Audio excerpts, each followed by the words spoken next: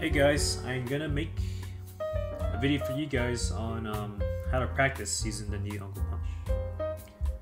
Well, maybe not all the features of the new Uncle Punch, but uh, the ones the, the features that really matter. And um, I won't go too much into the new Patreon um, features. I will touch on them, but I want to go first and foremost into like uh, how to maximize uh, how to use Uncle Punch to improve. So, rather than go down like the list of event matches, I think I will attempt to go from like most important to maybe at least. So, start off this uh, tutorial on Uncle Punch. I believe there's like a free version of Uncle Punch, so 2.0 that's doesn't have the top three like Training Lab is the big one, and these are updated, but you can still use the free version to like practice these. Combo training has to be like the most relevant, important one. Why? Because um, it's really important for tech chasing like fast fallers, like Fox, Falco, Falcon, and Sheik. If you set a DI to like down and away. Um, you can also use it to like uh, practice combo games too. And um, let's go into the features. I like going to FD personally. So, random DI, straddle DI. I like doing down and away. That's the means of practice. And if you hold um L and use like the control pad, you can go up and down. Left and right does like 1%. Up and down does like 10. So, tech option random, Really good. Practice right here. Because um, this shit's really hard. And it's absolutely essential, especially nowadays, as uh, it's really hard to out neutral people at uh, even like mid levels. Fox just wins neutral, and you gotta outplay Fox, so you can make up for that with a uh, a punish game that you can grind out and um, master. Like, say you practice an hour a day, then you're probably gonna be like immaculate at tech chasing.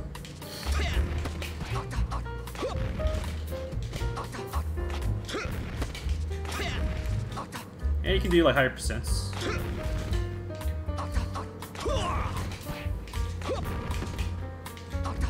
That's why I got crouch, too hard. You can totally do like no tech. If you want to be uh, 20 GXer and like uh, see that. Not quite my style, but maybe I will learn it to piss some people off.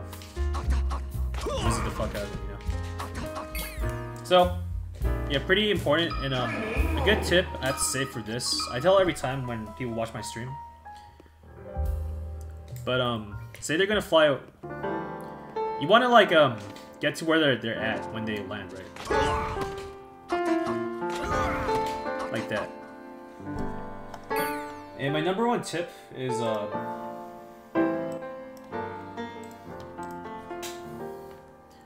your wave dashes have to be uh, pretty horizontal as possible.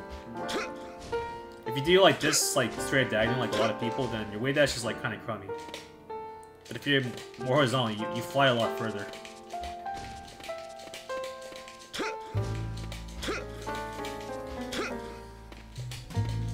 So, say like, um, someone's kind of far away, you gotta do like dash, wave dash, more often than not. And if you're really crispy with it, you can kind of, um, it makes tech chasing a lot easier.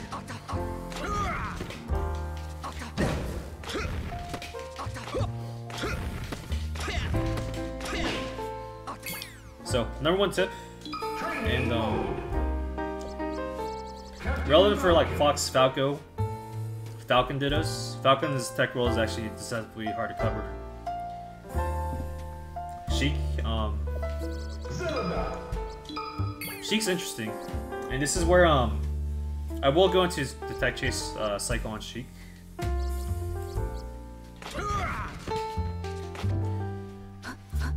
Down and away, um, it's like a guarantee it's just gonna land. Kind of the default that most Sheiks take.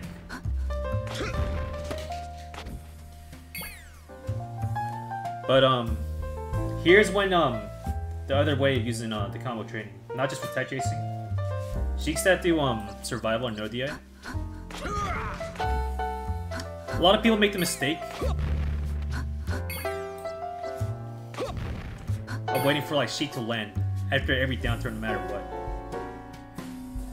So you gotta recognize when they DI in, because then it's like a free chain grab. Nair, whatever, you know. No DI. Oops. No DI. You know, same shit.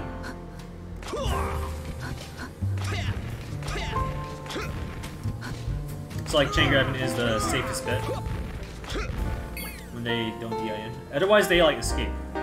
So a lot of people make the mistake, myself included, where uh, we're like, you don't expect to Sheik to DI in, but this has to be like a reaction play. And 90% uh, of Falcons don't recognize that Sheiks are not going to land in time. So, why is this, why is it good Uncle Punch you the random DI? And um, sometimes they'll DI away, sometimes they will not. It's really good training, you know. It's uh, train your uh, muscle memory.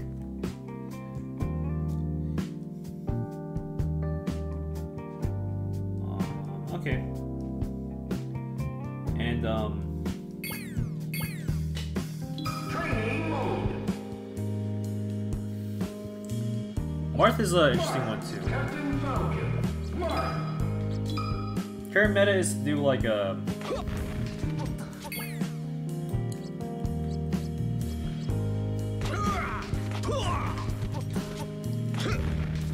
You want to be able to, like...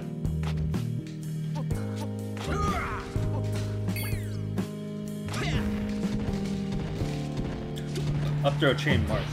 And, um... A lot of situations, um... In 2021, like...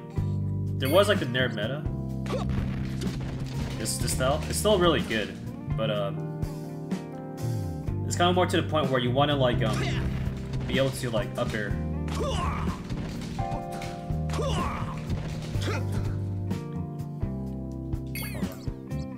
well, I don't know how to make not air dodge. I think the training lab you can you want to be able to like up air Martha like almost any percent. It kind of beats uh, Nairs out in mid higher percent range. As Marths got better at DI. You can also do crossups too practice that, because that totally fuck up the DI. And yeah, I'm a big believer in pressing like the up air chain any percent. Now I'm pretty sure if you have um, the new Uncle Punch training lab, you can actually program it so they won't like air dodge right away. But I'll get back. I'll get into that later. So that's combo training, the most important tool for any level.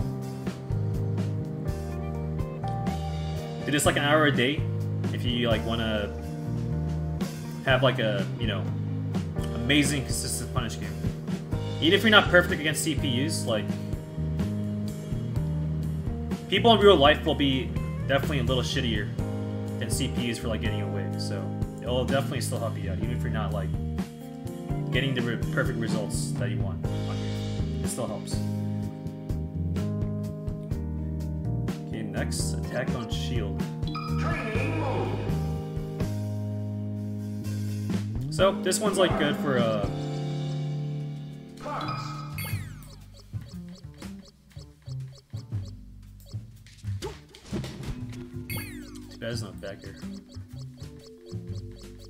Still useful though. Well, this one's good for um, hitting the shields. And seeing like how he can like uh, bait out shield grabs. Perhaps not as relevant against like Fox. I think most Foxes will try to shine out a shield. Oops. Yeah. A lot of Foxes have really good like perfect wave shines out of shield, so it's good to see like how you can hit them. I've been liking the really cat quick uh, dash dance after you like hit the shield kind of hard. See, if you do weak knee and you're flying in, it's really hard to uh, actually get away. If you hit the shield. I think if you like barely whiff, they're probably gonna do something.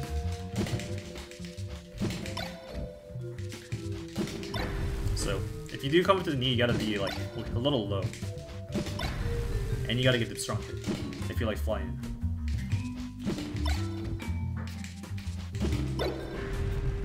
So, that's one way. I also like doing uh, pressing aerial drifts. So you can like uh... Falcon has a lot of drifts on its aerials if you don't fast fall especially.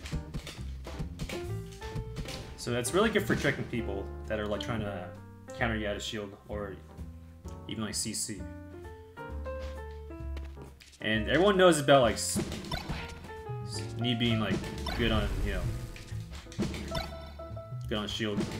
Everyone knows that, but, but um, everyone's used to the knee too. They're really, uh, most people used to the situations, so that's why you can do something like Stomp, which uh, is not as easy to pull off. But because of the drifts, you can like trick them. It's trickier.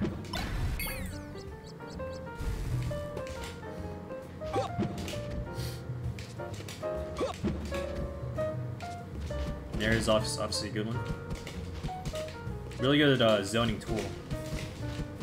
And it's, it's like hit or miss based on the magic close range if they throw out a move based on the character. But their blocking is obviously pretty good. It's obviously pretty good. And again, you can like uh,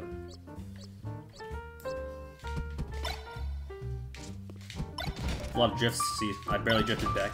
Run at them, you drift back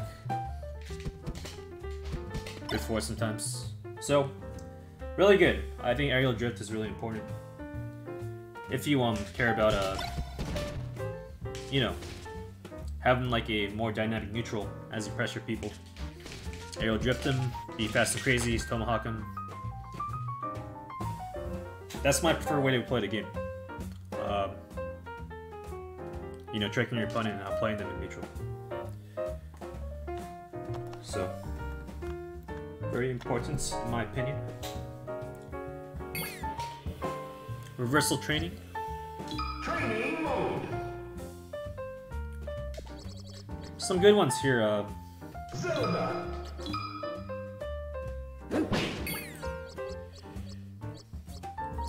Good for passing like CC. CC like uh, punishes. If you can CC Sheik's forward tilt and then like grab him after, that's that's huge, for example. And that's like a span move from like all levels of Sheik. Up tilt's like really hard. Notice here, you can grab between the first two hits. So if you call it out, it's a free grab, but after the second hit, it's not guaranteed.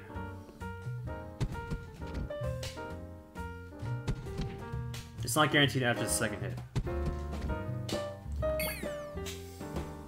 Sometimes you'll get it though, but if you're like pretty close to frame, frame perfect and up tilt again, then you're probably gonna get uh, get punished. So, you know, it's good for um, things like that. Another use is like a uh, practicing shield DI. So here I'm holding away to the left or to the right. Why? Because if you don't do that, then you get hit more than once on shield, and then you can't get the punish for free. But if you DI away, it, you're more safe, and you can get a punish just by DIing away. Let's try against uh, Peach. A lot of people shit their pants because cheat down smash, but if you have good defense and can DI away, you, you can get the punish.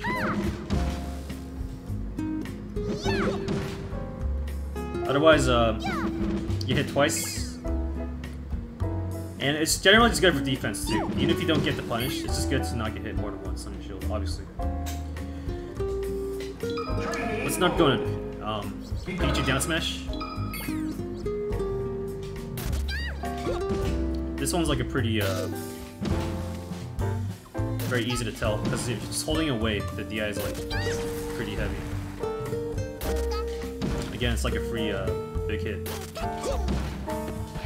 Peaches like to use it too, like randomly neutral.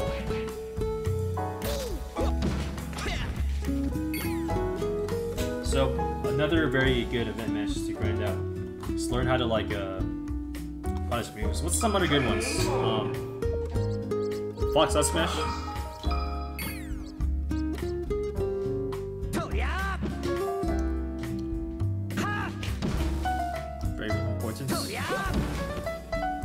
Stomp is uh, the juiciest, but a little harder.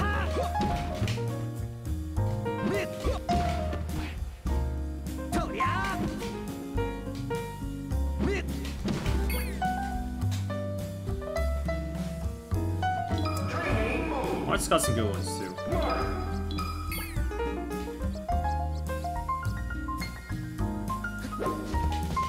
Uh, this one's not programmed. This. I want like an instant forwarder, double forwarder.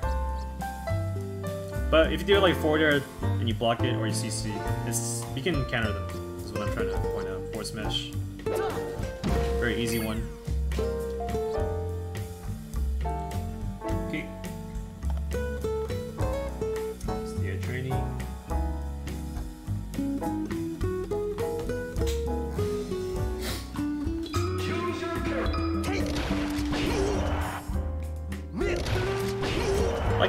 Um matches, it's like pretty it's pretty hard to uh, do this one, but if you have some like amount of success rate, you'll find that in real life games like uh, you can actually escape fairly often.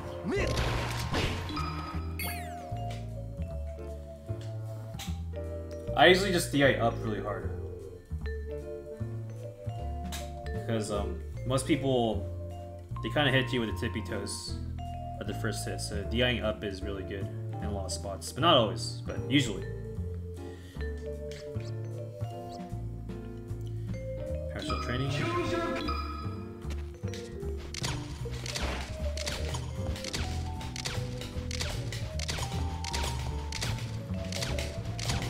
You know, I kind of made a breakthrough for this one. I realized the best way is to like dash, dash shield. If I dash shield into the laser, I find my my powershield success rate to be quite good, and that's pretty good because um, if you can like dash shield and powershield the laser, then you get a free, you get a pretty solid uh, aggressive like choice right there. So, that's like uh, something I, I learned kind of recently. Dash shielding like makes your power shielding apparently more easy, at least for me. Offset.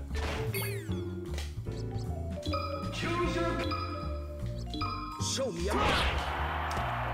Wish I had a control display setup, but do not. But um, what I do here after you taunt, Show me up.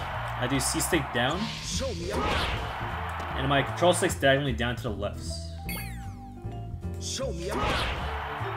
And then um, Show me up. I kind of just time all three of those. Uh, I also press R at the same time I press C stick down and control stick diagonally down left. me up.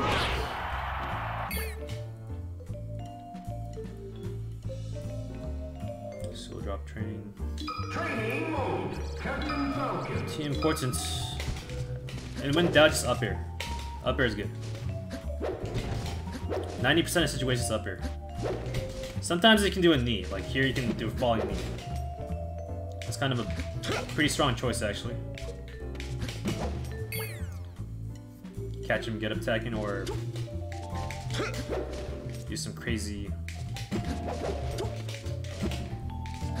Don't stick back here. But up air is probably the best overall counter to like a someone hitting your shield.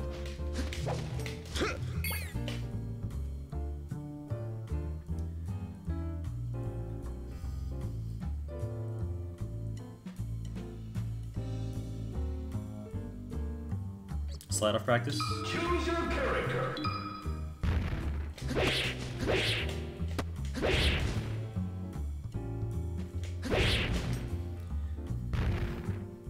Seems like just holding direction Tekton. C stick down works best across the board.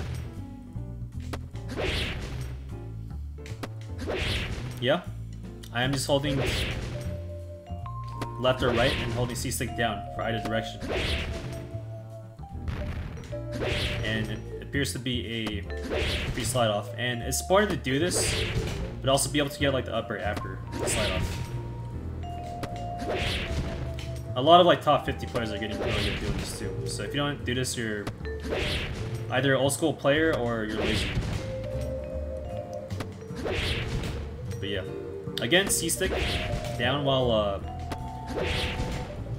holding direction left or right based on the way you tech. And then I like doing C-stick up after to get the up air. So that's those are good practices right there. Okay.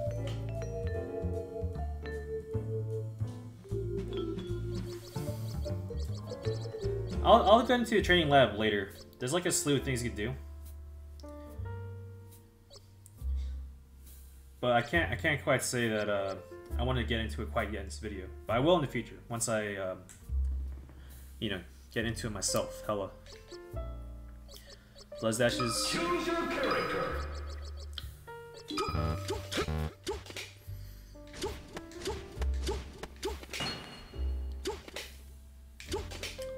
Best to have as good of as possible.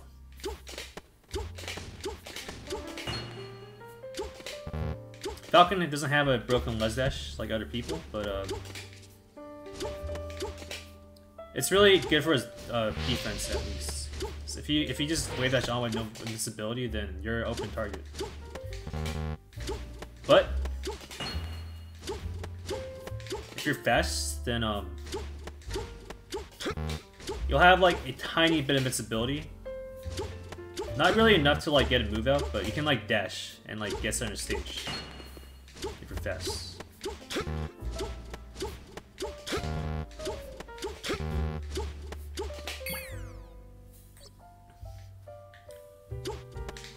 And I like I like the idea of doing this too because uh, there's a different timing for when you come from above and below.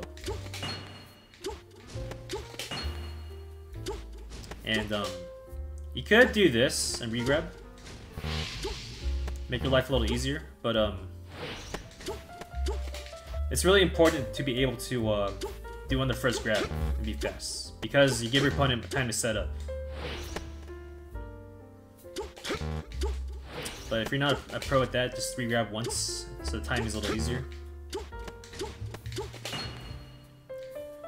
So yo, we gotta work on the glints right there.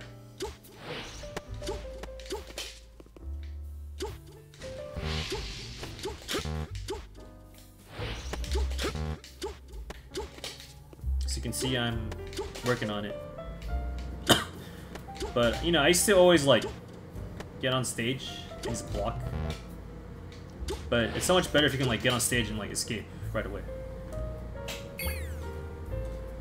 So, that's pretty much my, um, Uncle Punch, um, tutorial. I think anyone at any level can, um, practice using this, um, ROM and improve. So Uncle Punch definitely kicking ass. Consider subbing to his Patreon, and you can get like the the newest version with the training lab and this event match.